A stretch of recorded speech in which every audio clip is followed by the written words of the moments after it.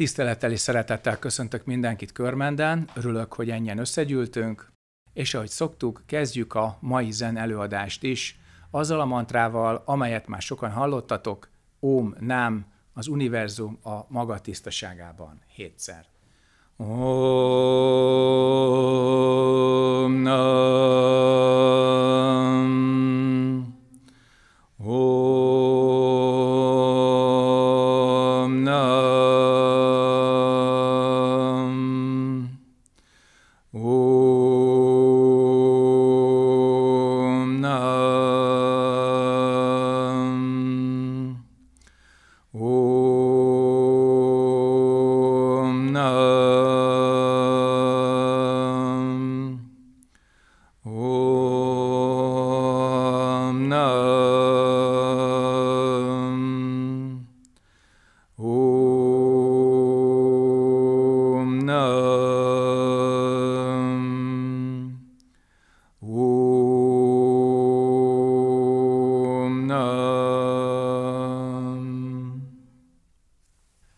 Köszönöm szépen, kérek gyorsan egy számot 1 és 208 között. 98-as koant kaptuk ma estére. Szokszán, hét egyenes út. Réges-régen élt Kínában egy Szokszán nevű zenmester, aki életében senkinek sem adta át a tant. Hanvasztásakor valakinek meg kellett tartania a darma beszédet, melyre a szerzetes vezetőt kérték fel. Ahogy elkezdte volna a beszédét az emelvényről, Szokszán fiatal szolgálója, Kubong, előlépett, és így szólt. Mesterünk mindig a hét egyenes utat tanította. Első. Menj egyenesen, teljes a nyugalom. Második. Menj egyenesen, félretettél mindent. Harmadik. Menj egyenesen, az őszi víz hűs, tiszta. Negyedik. Menj egyenesen, egyetlen tudat tízezer éven át. Ötödik. Menj egyenesen, a korhat fatörzs alatt kihűlt a hamu. Hatodik. Menj egyenesen, nehéz, mozdulatlan füstölő tartó egy ősi templomban. Hetedik. Menj egyenesen, az ég felé száll a füst a szélcsendben. Ha érted az igazi jelentését a hét egyenes útnak, akkor megtarthatod a darma beszédet. Ha nem, akkor nem szólhatsz, mondta a szolgáló. Egyetlen szín, sokféle működés, felelte a szerzetes vezető. Nem hihető, válaszolta a szolgáló. Ha nem hiszed, akkor látni fogod, mondta a szerzetes vezető. Meggyújtott egy füstölőt, a tartóba tette az oltáron, hátralépett és meghajolt előtte. A helyére ment, leült és teljes nyugalomban figyelte. Mire leégett a füstölő, a szerzetes vezető eltávozott az élők sorából. Sokan felkiáltottak csodálkozásukban. Ó, a nagyszerű szerzetes vezető is a nirvánába tért. De a szolgáló háromszor meglegyintette a szerzetes vezető vállát, és így szólt. Ülve meghalni, vagy állva, nincs akadály előtted. De mesterünk hét egyenes útjának jelentése nem fogható fel, még az álomban sem. Kérdések. Mi szokszán hét egyenes útjának a jelentése? Ülve meghalni, vagy állva, nincs akadály előtted. De mesterünk hét egyenes útjának jelentése nem fogható fel, még az álomban sem. Ez mit jelent?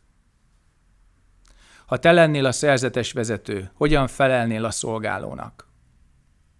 Kommentár. Hét ajtó nyílik ugyanabba a szobába. Mindegyiknek más a rajzolata és a nyilása. Ha ragaszkodsz a részletekhez, akkor nem lépheted át a küszöböt. Csak menj egyenesen, tégy hét lépést. Ekkor találkozol az igazi mesterrel, és megkérdezed, hogy szolgál a kedves egészsége. Kitűnően köszönöm, és a tiéd? Hasonlóan. Ezt érted? Ha igen, akkor mehetsz Szokszán hét egyenes útján. Szeretnék gratulálni a közönségből annak, aki ezt kihúzta, ugyanis a legnehezebbet húzta ki. A régi gyűjteményünkben, ahol 365 koan volt, ez volt az első. Ugyanis ha ezt elolvasod, és nem riadsz vissza tőle, akkor a zen összes többi kuanya könnyebb lesz. Nagyon-nagyon sok kérdés van. Az élet és halál kérdése a legfontosabb. A régi kolostorokban, ahol a megvilágosodás volt a fő fókusz, senki nem tarthatott olyan darma beszédet, ahol az élet és halál, illetve annak a megtapasztalása ne legyen közvetlen tapasztalás. Tehát ha valaki nem jutott túl életen és halálon, nem tarthatta meg a darma beszédet. Ezt Kubong is nagyon jól tudta. És ezért számon kérte a szerzetes vezetőtől, hogy ő neki milyen tapasztalása van.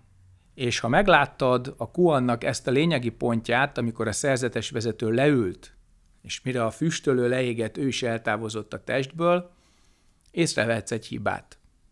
Nem azzal lendülsz túl az életen és a halálon, hogy magad is meghalsz. Pedig itt a szerzetes vezető ezt tette, ő bizonyítási vágytól égett, és azt akarta láttatni a többiekkel, hogy ez nála már nem probléma.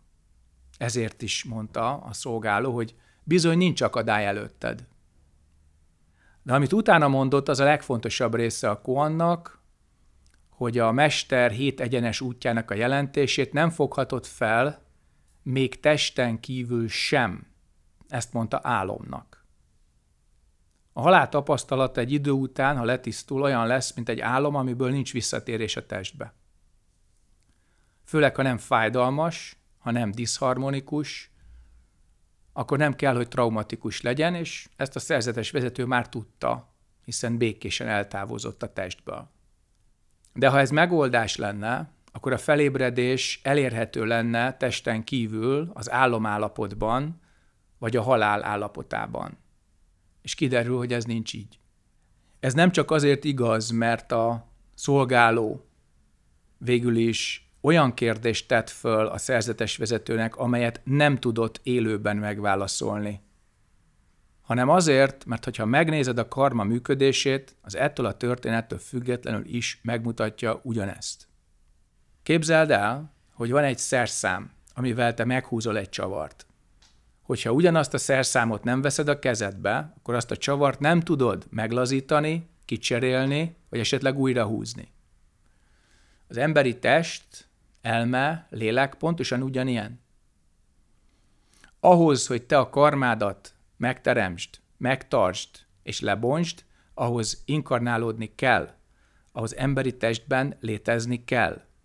Mivel látás, hallás, szaglás, tapintás, ízlelés, gondolkodás, érzelemformálás, beszéd és cselekedet által teremtjük a karmánkat, ezért újra kell testesülnünk, hogyha ezen változtatni szeretnénk.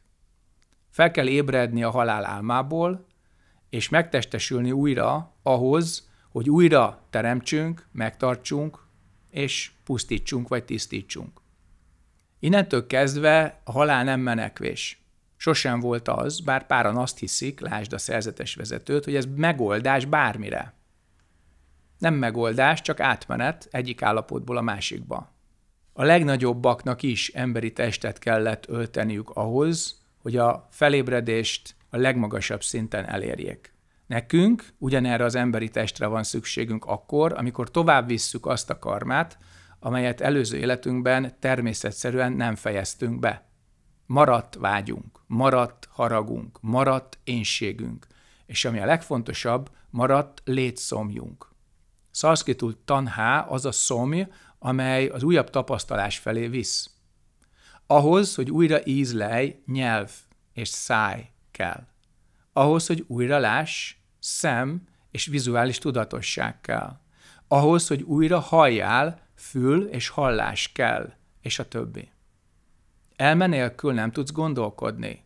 Agy nélkül nincsenek fogalmaid. Tehát nézd meg azt, hogy mennyire fontos az élet, és mennyire ragaszkodunk hozzá, de nem tudjuk, hogy miért.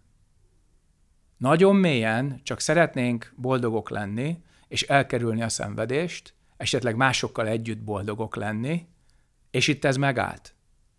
Akkor tudatosodunk általában, amikor válsághelyzetünk van. Előtte nem.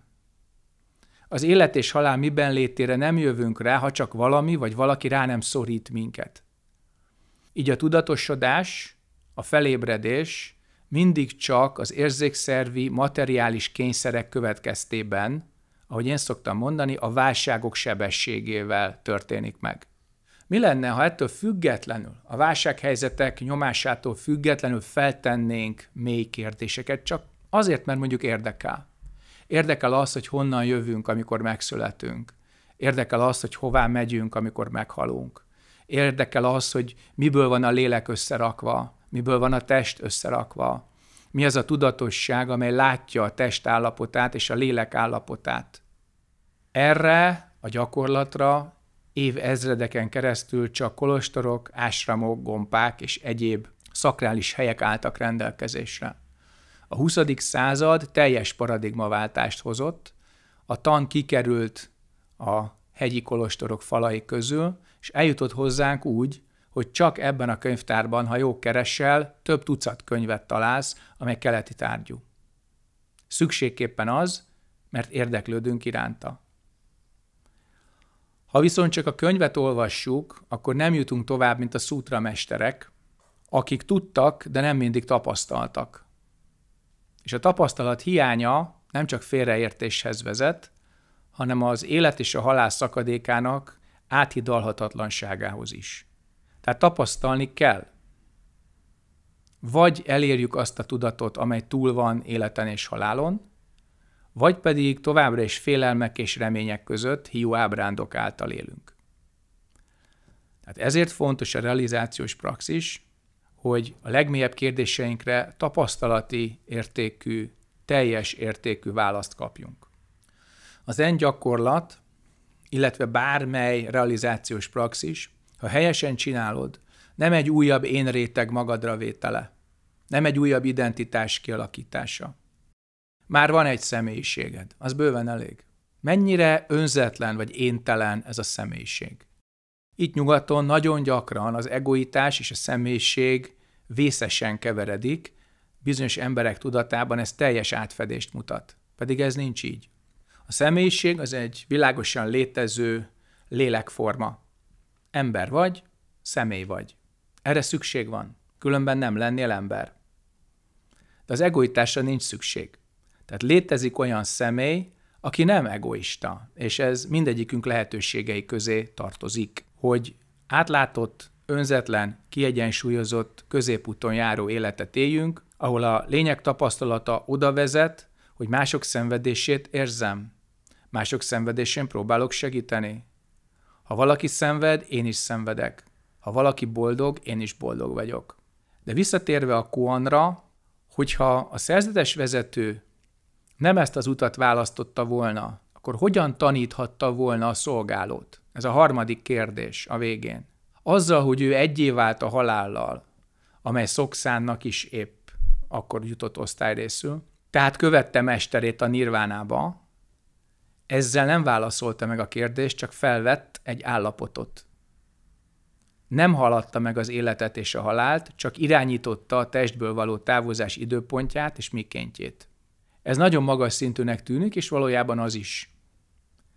De ez nincs túl életen és halálon. És ha ezt észreveszed, akkor hirtelen rájössz, hogy ez az élet egyrészt mennyire értékes, másrészt pedig a haláltól nem kell félni. A félelem által nem teszed távolabb magadtól. Hogyha valójában tudod, hogy miért születtél meg, és mi a dolgod ezen a földön, kikkel van dolgod ezen a földön, akkor bejárhatod az utat úgy, hogy a végén, amikor leteszed a lantot, akkor azt mondod, hogy jó mulatság férfi munka volt. Hölgyek pedig a saját mondatukat. És innentől kezdve járjuk az utat, és nem azzal törődünk, hogy éppen mikor halunk meg, hanem azzal, hogy most hogyan élünk. Most milyen tiszta tudattal élünk. Most milyen karmát hozzunk létre, tartunk meg és törlünk el. És pontosan az élet múlandóságának a belátása adja az alapértékét, hogy tudod, hogy nem tart örökké. Tudod, hogy ha nem változtatsz a szokásaidon, akkor ezt a személyiséget, ezt a lelket fogod a következő életedbe is vinni. Összes feltáratlan karmájával együtt. Képzeld el, hogy mekkora házi feladatod lehet a tudatküszöb alatt. Most már tudsz magadról annyit, hogy élethosszig tele legyen munkával a táncrended. Hogy mind kéne változtatnod magadban, egy picit jobban érezd magad, vagy másoknak egy picit jobb ember legyél. Mi lehet még a tudatküszöb alatt, amit még sose láttál, de ott ketyek szépen az arhetipusait között? Úgyhogy ez a pillanat, ennek a világossága a fontos, és amikor testet váltunk, akkor testet váltunk. De addig munka van. Addig változni akarunk, és a változás útja az az élet helyes élése. Nézd meg a nemes nyolcrétű ösvényt. Abban minden benne van ahhoz, hogy egy kiegyensúlyozott, önzetlen, bölcsességgel és együttérzéssel áthatott életet élj. Már nem kell elmenni Ázsiába érte. Már itt nyugaton jelen van a hagyomány, annyira, hogy számodra az gyakorolható legyen. Az előbb beszéltem az élet múlandóságáról, amely megadhatja az alapértékét, de csak az alapértékét. Mert a második, az, hogy önálló minősége nincs, ez még félelmetesebb. Nézd meg, hogy hányféle életet élünk. Nyisd ki a körzőt egy 10 kilométeres rádiuszra, rajzold meg, és nézd meg, hogy hányféle ember van, hányféle életminőség van, hányféle házban élünk, hányféle lábbelit viselünk, hányféle járművünk van vagy nincs. Ez milyen karma?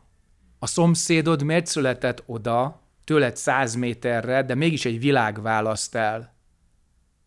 Emberi minőség és esetleg anyagi körülmények tekintetében is. Téged milyen karma vezérelt a szüleidhez? Mit hoztál magaddal? Mit adtak ők neked? Mit adtál te nekik? Hát ezek a kérdések azok, amelyek az életnek értelmet és minőséget adnak, és végső soron kiderül, hogy valójában mit akarsz.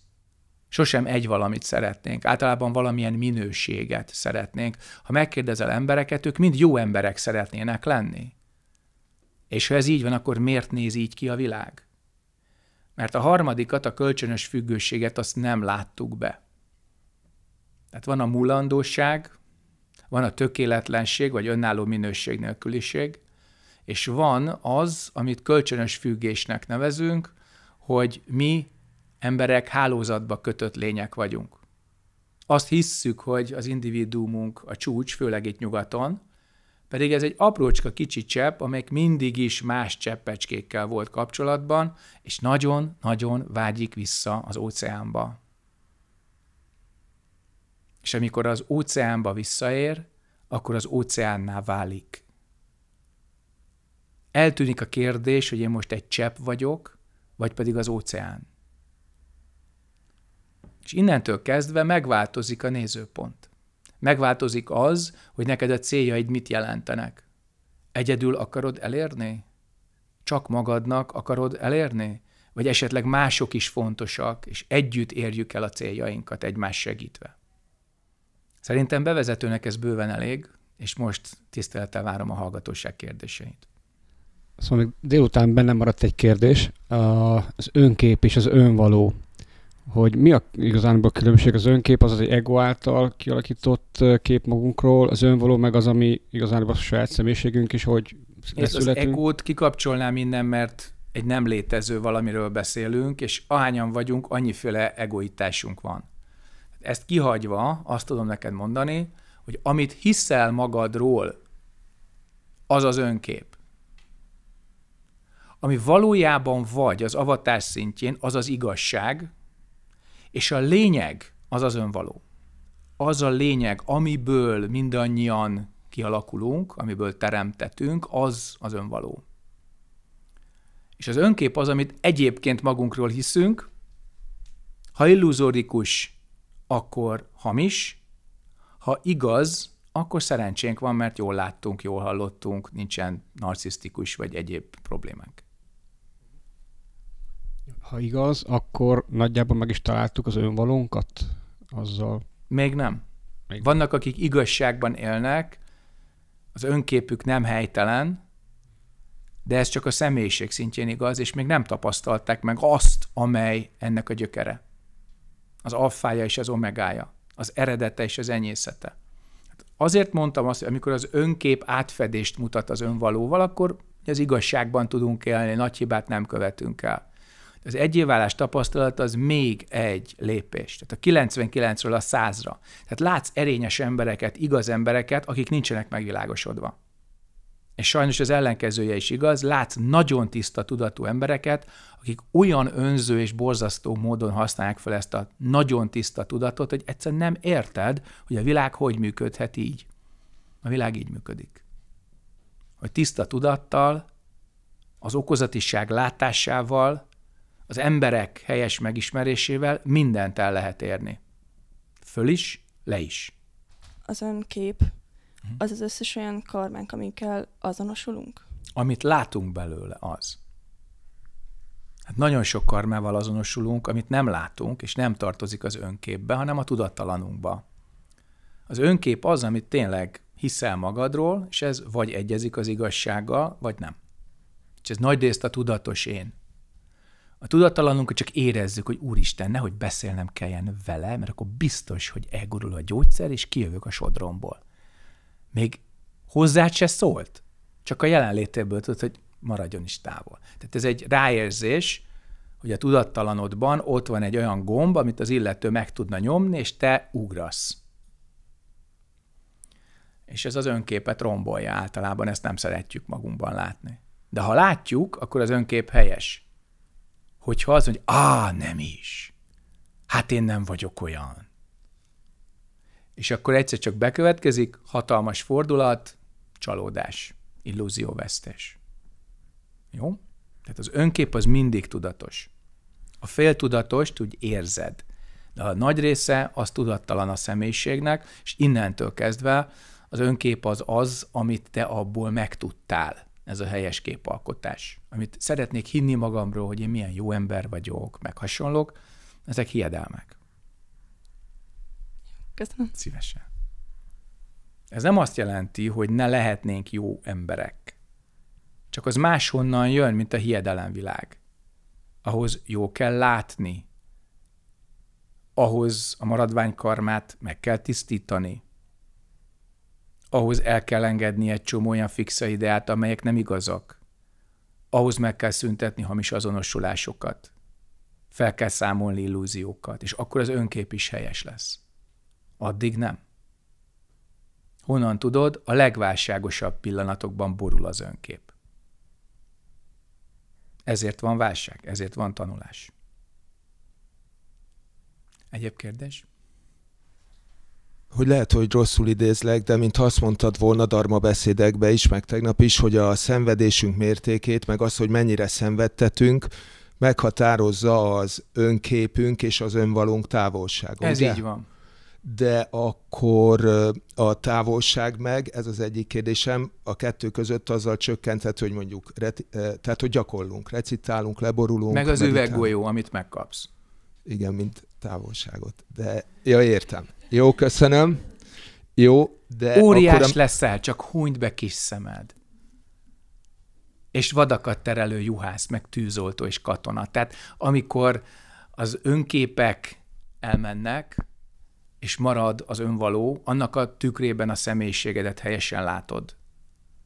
És akkor már nincs távolság az önkép és az önvaló között, mert az ego illúzióját felszámoltad. És ekkor megszűnt szenvedtetni és szenvedni. Igen, de pont ez az, hogyha, hogyha felszámolom az összes illúziómat, mondjuk sikerülne, akkor mi marad? Tehát a kék ég és a zöld fű marad, illetve Tehát a tükörszerű tiszta tudat? Teljes, pontosan, és a maga teljességében ez a pillanat, ami van. És ennek nyomán, vagy ennek következtében a helyes helyzetfelismerés, kapcsolatteremtés és cselekvés. Magyarul minden csak portalanul, tisztán. Egyszer még korábban nem zenirányzatban meditáltam, vagy elkezdtem meditálni, és akkor nagyon felelősödtek bennem a korábbi szorongások és félelmek, és akkor az akkori tanítom azt mondta, hogy ezt most gyorsan hagyjam abba, és gyorsan menjek el egy pszichiáterhez, mert valami olyanban nyúltam, ami feldolgozásra szorul. És akkor én nagyon meg is ijedtem, amúgy el is mentem, de, de abba hagytam a meditálást. Ez ugyanaz a tanító volt, aki azt a módszert tanította, amelynek következtében ezek a tartalmak a tudat felszíne fölé jöttek? A módszert ő tanította, igen. És amikor ez megtörtént veled, akkor ő hirtelen egy pszichiáterhez ajánlott. Igen. Szerintem a kérdésfeltevésből látod, uh-huh. hogy itt már további minősítésre nincsen szükség. Tehát én hogyan segíthetek? Tehát azt szeretném kérdezni, ha most hasonlók történnek, mondjuk rémálmok jönnek elő. Vagy Én nem küldelek el pszichiáterre, Akkor... hanem egy olyan gyakorlatot kapsz, amitől elmúlnak a rémálmok. Értem. Hát ez egy normális hagyománynak a dolga. Tehát akkor ö, fel kell, hogy keressem a tanítómat téged, és megkérdezem, hogy hogyan tovább, folytassam-e így, ahogy, ahogy eddig, vagy, vagy ö, akkor kapok egy, egy újabb feladatot. Elég, ha fölhívsz. Uh-huh. Mert az gyorsabb, de uh-huh. kereshetsz is nyugodtan, személyesen. nem bújok el. De amíg eljutnak az emberek a templomba, az egy kicsit több idő, viszont a templomi elvonulás az egy nagyon biztonságos és tiszta környezet, és ott, hogyha elindul ez a gyakorlat, akkor esélyes, hogy jó irányban folytatódik. Ha otthon, esetleg családi környezetben, vagy a, a lakóhelyet környékén kis csoportban csinálod, az is nagyon jó. De értsük meg, a tanító az nem csak azért van, hogy leadja az anyagot, Azért is van, hogyha közben valami történik, és a tudatfelszín fölé emelkedik valami hatalmas, nagy ordas karma, akkor az segítsen neked leképezni, látni, a helyére tenni, kontextusba visszavinni. Tehát, hogy ez lenne a dolga, és nem az, hogy eküd orvoshoz. Az viszont az elején kell, hogyha valakinek már pszichiátriai kezelése van, akkor az ne kezdjen el meditálni. Nem a fordítottja igaz? Uh-huh. Hát gondolom. Uh-huh.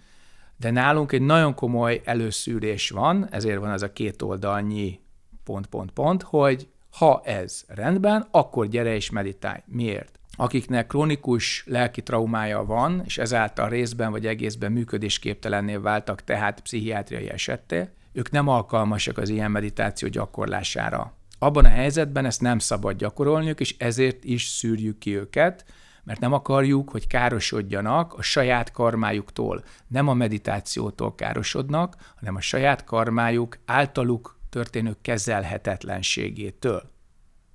Oké, és képzeld el, hogy van egy tükröd, eléraksz egy palackot, és mutatja a palackot rendesen. Eléraksz egy medvét, és a medve látán a tükör összetörik darabokra. Egy másik tükör egy egész dzsungel tud mutatni neked, állatostól, madarastól, növényestől, és még akkor se törik össze. Hát eltérő erősségű ez a tiszta tükör tudatunk. Akik pszichiátriai kezelést kapnak, azoknak sajnos ez szükségesnél gyengébb ez, vagy egyáltalán nem működik, épp ott és akkor. A meditáció megnyitja a tudatküszöbét úgy, hogy leállítja az én teremtő vagy önvédelmi mechanizmusokat. Ez a pszichiátrián fordítva történik, kémiai és egyéb eszközökkel megerősítik a tudatos és a tudattalan közötti falat azért, hogy végre a szó orvosi értelmében normális legyen az illető, és hazabocsátható legyen, és a mindennapi életben működjön. Tehát akkor, amikor a tudattalamból elképesztő mennyiségű, ellenőrizetlen, átlátatlan, pusztító karma a felszínre jön, akkor meditációs gyakorlatot kezdeni nem lehet, nem szabad. És innentől kezdve, hogyha látod azt, hogy mi az, ami kinyitja a tudatos és a tudattalan közti küszöböt vagy falat, és mi az, ami visszazárja, pont azt kell alkalmazni, amire éppen akkor szükség van. Egy egészséges embernél a meditáció nagyon lassan, nagyon fokozatosan engedi a felszíne ezeket a tartalmakat. Ez egy nagyon egyensúlyban lévő dolog. Egy elvonuláson ez intenzívebb. De a környezet sokkal tisztább, sokkal ellenőrzöttebb, ott van a tanító, tudsz tőle kérdezni, tanácsot kapsz, stb. stb. Tehát nincs olyan tanítás, ahol ne lenne olyan támogatás később, hogy te egyedül maradnál a problémáddal. A mi általunk tanított zen sem ilyen, az előszűrés az világos, aki alkalmas elkezdi, amilyen problémád, nehézséged van, abban te segítséget kapsz álmokban is előjöhetnek a meditáció hatására a tudattalamból dolgok? Igen, így van. Sőt, olyan, amit visszahozol ugye a fél éber vagy éber állapotba, és akkor kell azt csinálni, amit a tanító mond, például az ilyen esetekre, hogy azon nyomban üljél le reggel, és ha álmodban nem tudtál egy mantrát ráereszteni, akkor a mantra tűzfala mögül nézd meg még egyszer az álmot, Utána vedd el a mantrát, és az álmot megint nézd meg, és az a fontos, hogy te töretlen, mozdulatlan, világos tudattal ott ülj, és engedd a filmet képződni, leperegni, és eltűnni, és ezáltal te lettél az erősebb. Ha reagálsz az álomra, ha az álom téged elvisz az álomvilágba, akkor vesztettél. És akkor vissza kell jönnöd az álomvilágból jelentős energiavesztesség után. Köszönöm. Szívesen. Kettő gyakorlati kérdésem lenne. Az egyik az az, hogyha mantrát gyakorlunk, és ezek a, tehát a karmatisztítás az mindig összefügg ilyen tudatosult, akár álmokkal, akár bármi más tapasztalással, vagy ha mondjuk nem tapasztalunk ilyeneket, akkor is kifejti a hatását, vagy akkor is előre megyünk-e? Igen. Tehát nem kell ahhoz ilyen zenés táncos összejöveteleket látni az elmédben, hogy te haladj az úton. Hát vannak olyanok, hogy az elején, mondjuk az első fél évben ilyen elképesztő átfordulások, leolvadások, robbanások vannak a tudatban, mert épp akkor a tudattalan a felszíne dobta ezeket a karmákat. Utána egyszer csak így elülnek, és egy-két évig semmi, és az illető kötelesség tudóan minden nap teszi a dolgát, azt veszi észre, hogy az élet normális, a minőségei jók. Kevesebb hibát követel, jobb az állóképessége, jobb a kapcsolati intelligenciája, megnőtt az érzelmi és kognitív teljesítő képessége, stb. stb. Jobban jelen van, nehezebben billenthető ki. És innentől kezdve ezek a jó tétemények, ezek az ösvény közvetlen hatásai.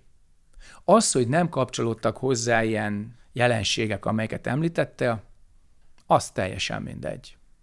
Köszönöm. Szívesen. A második kérdésem, hogyha mantrát gyakorlunk, korábban beszélt beszéltél arról, hogy, hogy mindig kell egy alfa praxist kiválasztani. Ez így van. Az gond -e, hogyha ugye háromféle módszert néztünk meg, amit, amit mutattál, hogyha mondjuk mantrát gyakorlunk, akkor lehet-e ugyanaznap azt az egyhorgonyos kérdéses gyakorlást is csinálni, vagy célszerű mindig egy nap egy, egyfajta gyakorlást csinálni, vagy hosszú távon egyfajta gyakorlást csinálni? hosszú távon egyfajtát úgy, hogy te kirándulsz onnan. Tehát tudod, hogy mi az alfa praxis, mondjuk van egy mantrád, és a konszem bosszál az téged így szívcsakrában kitisztít, feltölt, kinyit, és te fantasztikusan érzed magad, mert az együttérzés energiája eltölt. Igen ám, csak ugye nem egy mantrával él az ember élete végéig, például mantrapraxis közben te meglátsz egy olyan karmát, amit a tűzfal nélkül meg szeretnél vizsgálni. Azt jelenti, hogy átváltasz a tárgyas kérdés, és azt mondod, hogy most három napig csak ezzel foglalkozom. Ki van tűzve. Vagy amíg ennek a karmának a túloldalát, vagy a kontextusát meg nem látom. És akkor ráirányítod a kérdést, hogy mi ez, honnan jön, és ülsz. És nézed. És akkor egyszer csak a helyre kattant, köszönjük szépen, és folytatod. Vagy egy hatalmas nagy robbanás következik be, mert a jéghegy csúcsát kaparász, és csak így BOOM! Olyan erős, hogy a kérdést elsöpri. Visszatérsz a mantrához, beülsz a tűzfal mög, és a mantra szépen elkezdi pucolni az egészet. Ilyen is van.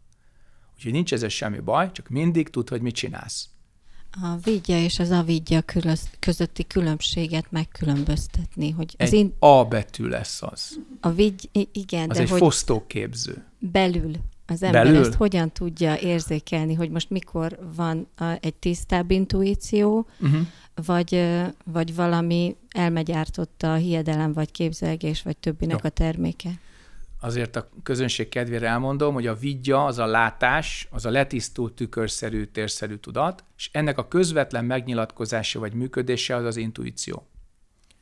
Az avidya az, amikor tele van az elmét hülyeséggel, és el is hiszed őket. Tehát a téves nézetek eltakarják a tükröt. A duális karmához való ragaszkodás az a vigyá, mert ezzel azonosulunk is, és ebből ugye extrém duális reakcióink vannak, akár kapzsiság típusú, akár harag típusú. A vigya az, amikor tényleg megvan a tiszta, térszerű és tükörszerű tudat, ennek a működés egy olyan intuitív folyamat, vagy pillanat, attól függ honnan nézed, hogy az impulzus jön, megoldja a kérdést, betölti az üres helyet, de előtte nincs gondolatfolyamat, és utána sem, és a megoldás korrekt. Ha elmebéli a dolog, akkor valamilyen előzetese volt, érzelmileg vagy gondolatilag, és utána van valamilyen következménye, akár vitatkozol magadban ezzel az impulzussal, akár nem. Hát az elme szüleményét soha nem lehet összetéveszteni az intuícióval, viszont sok munka van belül ezügyben. Miért? Mert az intuíció ugyanúgy gondolatokban, érzelmekben, szavakban és tettekben artikulálja az üzenetet, mint az elme tevékenysége. Tehát látszólag ugyanaz a nyelvezet, de a forrása nem ugyanaz. A forrása sokkal finomabb, sokkal mélyebb, sokkal egységesebb, mert nem tudható, csak tapasztalható. Az elmetevékenység a teljes merevlemez tartalmát, az emlékeidet, a preferenciáidat, az összes karmádat mozgósítja, és akkor abból van valami. Az intuíció az ebből a gondolkodás előtti pontból származik.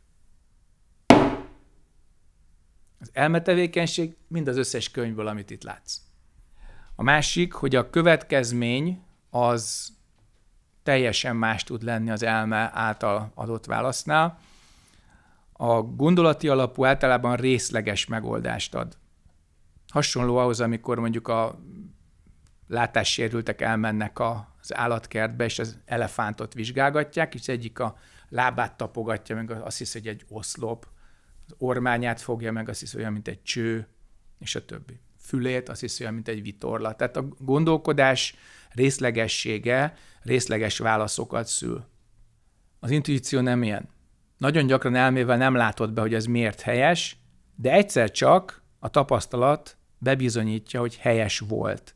Tehát tipikus példa, nem néztél időjárás jelentést, készülsz egy közeli útra 40-50 km a helyedről, mindent bepakolt, és egyszer csak jön valami, vigyél magad a lesernyőt. És a logika azt mondja, figyelj, süt a nap. Nem látok egy felhőt se az égen. Minek vigyek esernyőt magammal? Jó. Hát nincs vita. Elmenté. Délután van, beborult az ég, puff, elkezdett esti, mint a záporeső. És valahol ezt megérezted, és nem hallgattál erre az egyszeri, világos megérzésre, hanem elkezdtél vitatkozni itt a racionális elvek alapján, hogy de hát nem is. Azt kiderült, hogy mégis. Tehát nagyon nagy belső munka az, hogy az intuitív impulzusaidat elhidd, és alázattal meghajolj előtte, és az elme tevékenységét pedig hát tud félretenni, akármilyen okos vagy. Tanítószonyim, én azt szeretném kérdezni, hogy a családi karma tekintetében, hogyha valakinek az a létnyelve, illetve családon belül van most, arról, arra gondolok, a szenvedés és a szenvedtetés. És és igazából bevonódik ebbe a család többi tagja is, és ugyanúgy részese lesz ennek. Mindenki látni véli a másiknál, hogy mi a megoldás, de valójában ez a játszma folyik folyamatában.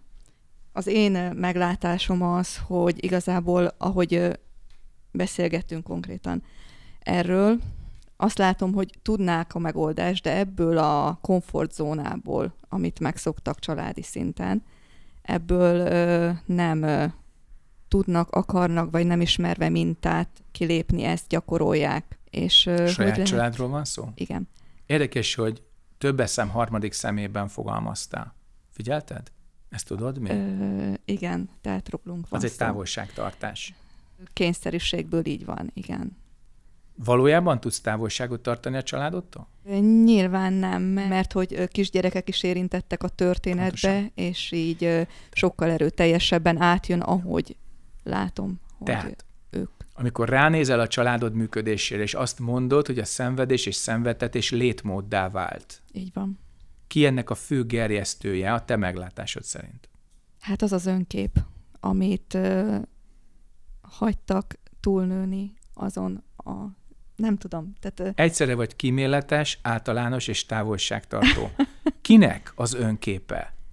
Én azt gondolom, hogy ez egy olyan hagyományvonalból táplálkozik, ahol a szenvedés, a szenvedtetés és az az két a dolgok, ezek elfogadottak, sőt üdvözöl, üdvözölendőek.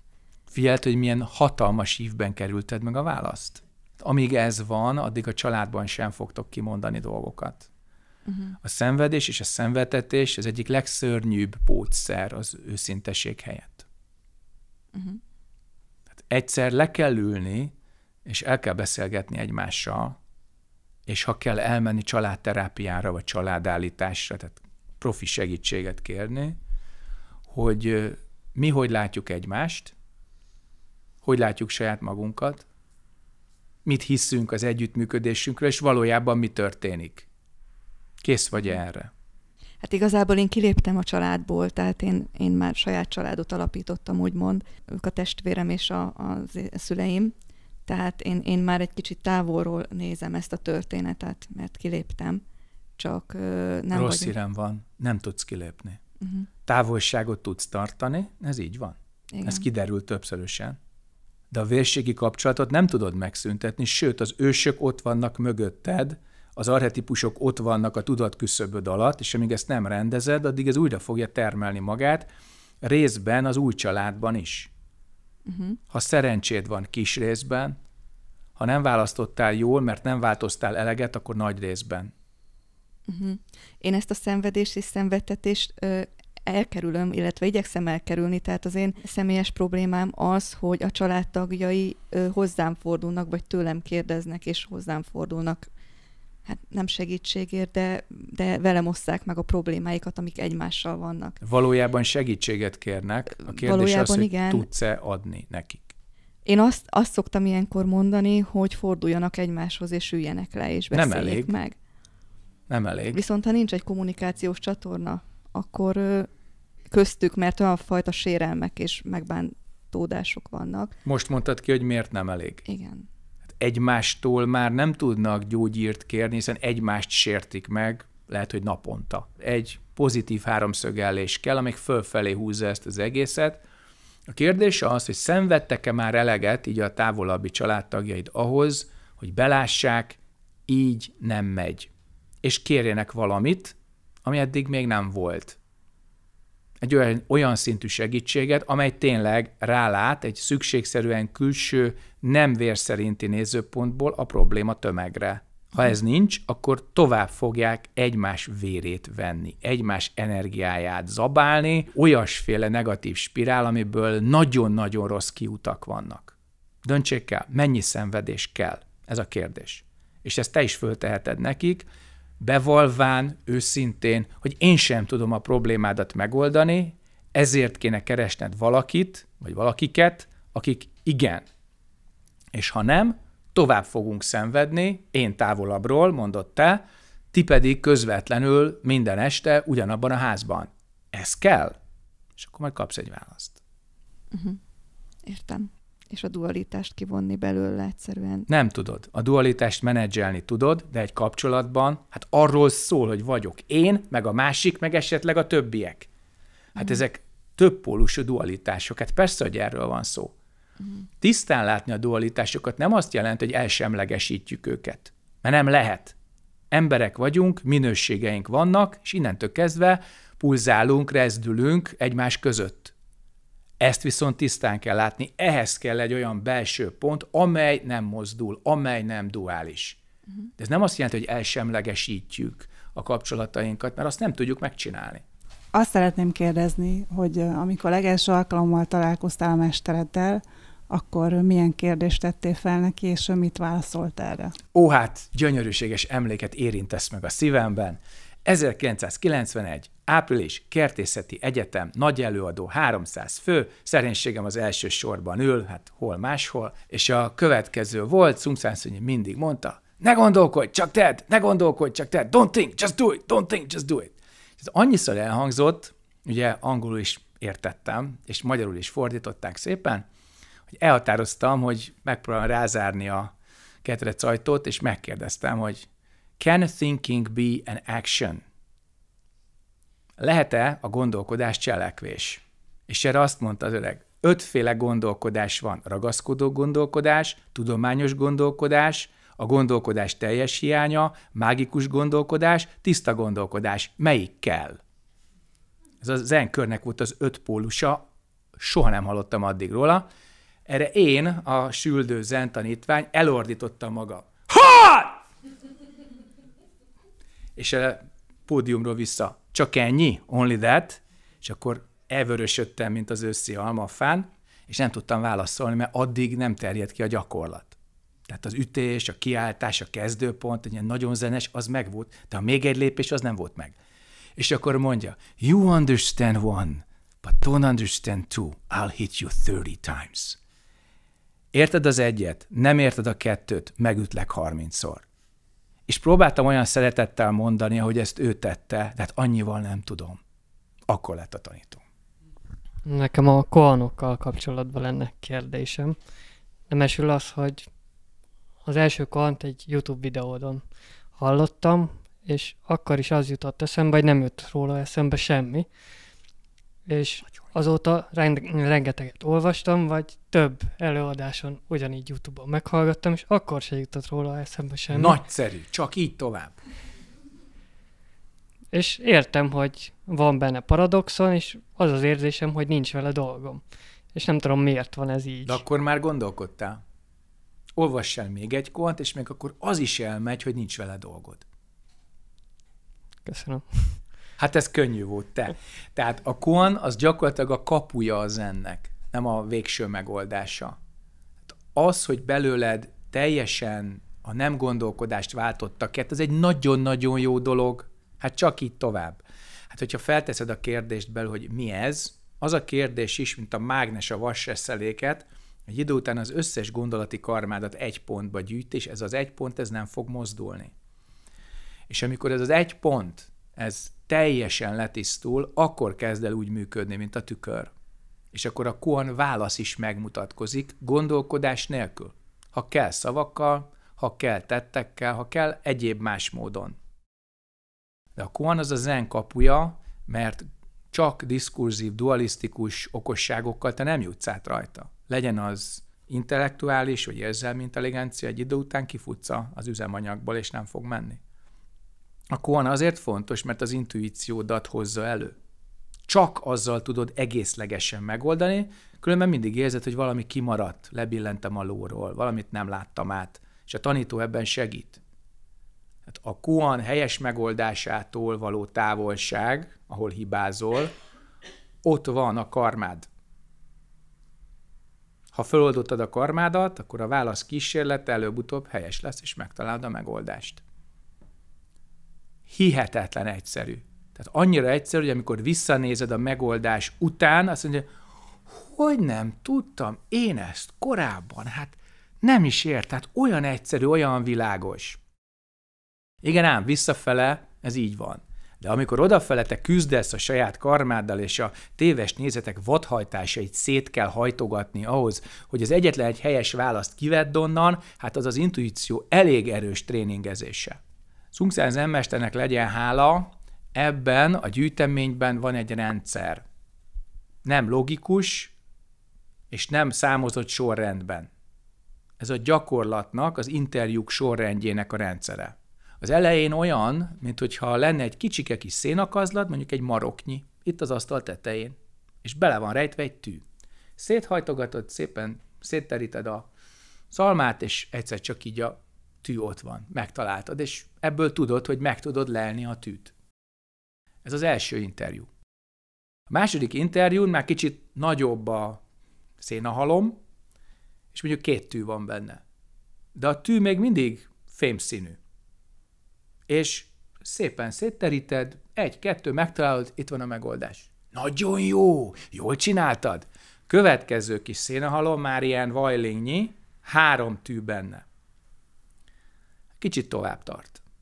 A következő már akkora, mint egy íróasztal, két tű van benne, de mind a kettő szalma színű. Már nem látod meg. Csak akkor veszed észre, hogyha beléd szúr, és nem úgy szúr, mint a szalma, hanem erősebben. És a következő már akkora, mint egy szoba, van benne három tű, teljesen mindegy, hogy milyen színű, de akkor, hogy egyszerűen ember élet alatt nem válogatod át. Na, ekkor kell egy mágnes, amit oda teszel a szalmakkazal fölé, és elképesztő erős elektromágneses mezőt kapcsolsz rá, és elkezded rázni a szalmát. Csak egyszer csak így a tűgy, így oda tapad a mágneshez. Na ez az intuíció versus az értelmi vagy érzelmi intelligenciának a szép darabonként működő, vagy elemző, vagy szintetizáló funkciója. A Kuan praxis brutális, tehát olyan frusztrációnak teszik ki az embert hosszú távon, hogy csak erős idegzetűek vállalkozzanak rá, mert mindig azt hiszik, hogy most valami jó fog történni velem. Nem. Sem jó, sem rossz dolog nem történik veled, csak elkezded a saját karmádat megkülönböztetni az intuíció finom jeltartományától.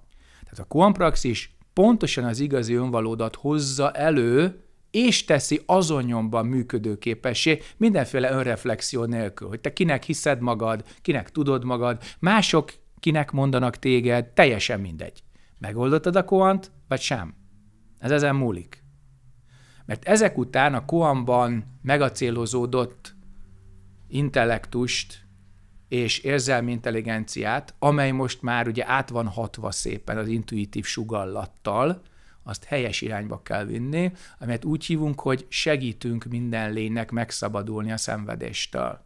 Tehát a felébredés önmagában nem elég, az 50 százalék. Ennek a helyes fölhasználása a másik 50 százalék, ennek iszonyú nagy jelentősége van. Ahogy azt az előbb más kérdésre mondtam, vannak nagyon tiszta tudatú emberek, akik nem együttérzően és nem bölcsességgel használják fel az elképesztően tisztán látó okozatiságot, jól művelő tudatokat, hanem csak a saját vagy a saját szűk csoportjuknak a javára. És ez azért helytelen, mert ezáltal szenvedést teremtenek, és nem hiszik azt, hogy ez a szenvedés egyszer csak visszatér hozzájuk. Pedig így lesz. Mert a karma törvényét nem lehet megváltoztatni. A koan szó szerint közügy vagy közokirat. És régen ugye nem volt ilyen fénymásoló szerkezet, tehát Kínában az írnokok lemásolták az eredetit. És a, az eredet és a másolat így egymás mellé került, és egy pecsétet rányomtak úgy, hogy mind a két szélét érintse a két dokumentumnak, és akkor onnantól kezdve, hogyha bármiféle kétség merült fel, hogy az eredetivel egyező vagy sem, összetették az eredetit és a másolatot, és hogyha a pecsét egy egészet alkotott, akkor az eredetinek volt tekintendő mindenki által bizonyíték volt. Ilyen módon illeszkedik a kérdés és a válasz. Ilyen módon találkozik a tanító és a tanítvány tudata. És hogyha így egy egészet alkot, akkor a kohan ugye beteljesedett, és a válaszsal együtt elvégezte a feladatát. A meditáció alatt azt tapasztaltam, hogy, hogy először úgy elég jól tudok koncentrálni így a tantiemre, meg a kérdésre aztán van egy ilyen rész, ami nagyon-nagyon zavaros, és mindig a 20 perc letelte előtt egy perccel nagyjából, újra úgy érzem, hogy na most, most még jobb, mint először, és hogy, hogy ennek kéne lennie végig. Csak akkor mindig megszólal az órám, és nem tudom, hogy ezt gyakorlással ki tudom-e terjeszteni ezt a nagyon kicsi részt az egész uh, gyakorlatomnak a, az, idő, az idejére, vagy inkább 30 percet kéne gyakorolnom ahhoz, Bori, hogy ez olyan maradjon. kötelességtudó vagy, hogyha apád és anyád nem lenne itt melletted, akkor fogalmam nem lenne, hogy ezt honnan tanultad. De így tudom. Egy. Ne ellenőrizd és minősítsd a saját meditációs praxisodat. Csináld. A másik. Most fordítsd meg az órát, és a 20. perctől indítsd. Ne a nulladiktól. És akkor rögtön az első percben ez gyönyörűen megvalósul, és visszafele megy az idő. Hát ezt már rég meg tudod csinálni. Jó? Nem minősítjük, csináljuk. És ez még mindig csak a kezdet. Tehát az, hogy mennyire vagyok benne, mennyire tudok koncentrálni a tantienemre, mennyire sima a tudatom felülete, ez azt jelenti, hogy te jó tanuló.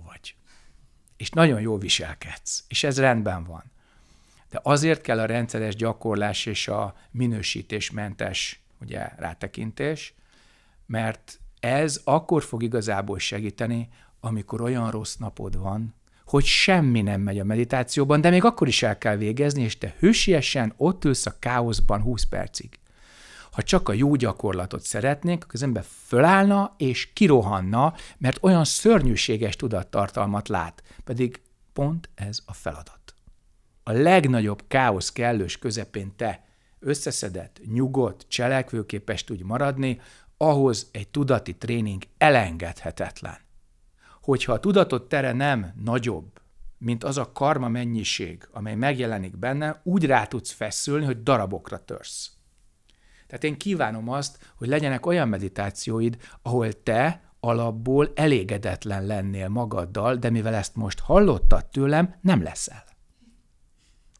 Tehát minden nap teszed azt, ami annyira természetes, mint a légzés, az evés, az ivás, az alvás, a kommunikáció, a szeretet kapcsolat, ugyanilyen természetességgel tessék gyakorolni.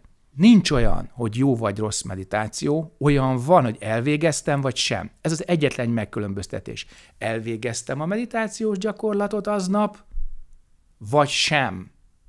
A többi mellékes. Jó? Jó, köszönöm szépen. Nagyon szívesen. Említetted másoknak a segítését, és ez milyen formában ö, érdemes, és hogy lehet úgy segíteni, hogy mások dolgait ne vegyük át, vagy hogy az önzetlen legyen? Nagyon jó. Ezt úgy kezdjük, hogy odamész az emberhez, akit kiszemeltél, és megkérdezed, hogy miben segíthetek. És hogyha jó szemelted ki, akkor ő pontosan azt fogja mondani, ahol te tudsz segíteni. Na most viccet félretéve, ha látod a viszonyt, hogy milyen viszonyban vagy az emberrel, akkor mielőtt megszólal, már látod, hogy miben tudnál segíteni, de megkérdezzük, mert csak úgy az autonómiáját félre söpörve nem segítünk senkinek. Egy, el kell tudnia fogadni. Kettő, valahol akarnia kell. És nagyon-nagyon fájó az, amikor te látod, hogy hol vérzik és milyen sebből, be tudnád kötözni, az illető azt mondja, hogy nem, menjél innen, majd én. És akkor, nagyon fontos, te pontosan biztonsági távolságba mész, hogy az illető projekciói ne ragadhassanak rád, és te nem minősítsd magadat azért, mert az illető nem fogadta el a segítségedet. Ott állsz a kötszeres tálcával, és amikor már annyira vérzik, hogy üvölt, és rájön, hogy neki nincs ilyen kötszere, akkor majd jelentős önképvesztesség árán, a büszkeség feladásának az árán, a saját egófalának a lebontása árán, majd azt mondja, hogy na most, most, most már tényleg már majdnem meghaltam, most már légy szíves. Ott a pillanat. Tehát nem kell ilyen szélsőséges helyzetekbe menni, csak nagyban szerettem volna illusztrálni, hogy az emberi büszkeség a saját rovásunkra nagyon sokszor érvényesül. És ott segíts, ahol tényleg ennek helye van, és a segítségnek van egy olyan iránya, hogy először tünetet kezel, és utána pedig önállósítja az illetőt, és akkor segítettél jól, ha többet nincs rád szükség. És ennek önzetlennek kell lennie, vagy egyáltalán lehet az igen, önzetlen? Igen, lehet önzetlen, sőt, csak is önzetlenül lehet úgy gyakorolni, hogy te ne keveredjél bele. Ha belekeveredsz, mert mondjuk jutalmazást vársz, akkor a következő napon a jutalmazás fonákja is jön, az egyik nap megköszönték, és a másik nap pedig rádvetítik az összes többi megoldatlanságukat. Ha ez kell, akkor nyugodtan várj hálát. De ha hálát vársz, jön az összes többivel együtt. Köszönöm. Szívesen. Megköszönöm mindenkinek a megtisztelő jelenlétet, köszönöm, hogy ennyi helyről eljöttetek, Tamásnak a szervezést, a könyvtárnak, hogy ismét itt lehettünk. Remélem, hogy minél többet tudjuk a darmát közösen meglátni, gyakorolni az utat, elérjük a felébredést, és megszabadítunk minden lényt a szenvedéstől. Köszönöm a figyelmet!